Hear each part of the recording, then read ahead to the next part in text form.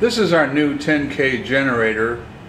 You can see that it's different from the 5K in this respect. We are using a one inch keyed shaft. You can see it right here. We've added cooling slots on both sides of the generator. The coils themselves are much larger. You can see these right here. And down in here, you can see the magnets are much larger too. The idea there is that we wanted to give the person who wants more power an option. What we also wanted to verify is that the power, the efficiency rather, was still as high as ever, even with going to a 10K model. Again, we're using the Himmelstein. We're using a Lovejoy coupler, which is right there. This is as per Himmelstein. This is what they want. We're using our standard three horse motor, our uh, true RMS uh, meters.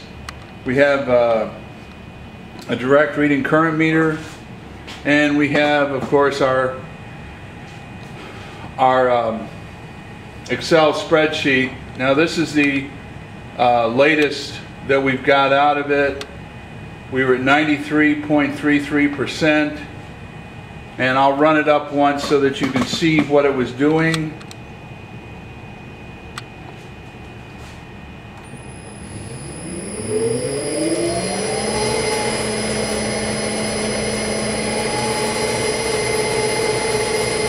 I'll run it up to 190 volts.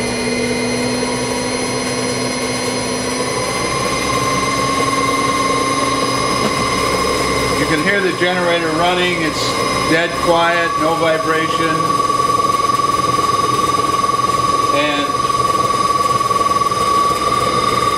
these are the numbers we're getting so you can see that they're consistent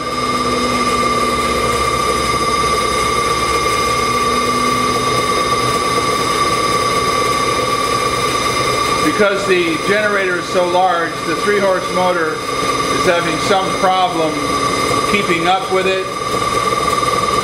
But the generator itself, you can see it's vibration free, it's solid.